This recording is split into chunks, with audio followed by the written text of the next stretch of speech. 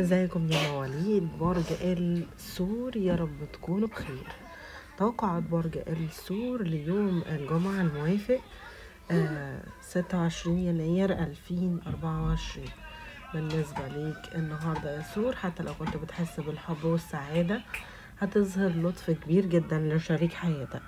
هتعرف تمائي بتفاصيل كتيرة بتضيف لمسة سحرية عندك.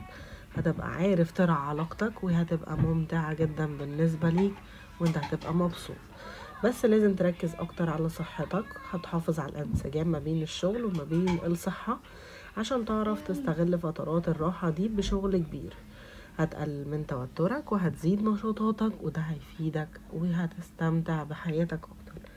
هتحس النهاردة بأنك عندك عدم يقين بشأن موقف معين ممكن تبقى بتستخدم في لغة الأشخاص ما بينكم. في فكرة قدامك لازم تبقى حذر من خلالها هتاخد وقتك قبل ما تاخد أي قرار.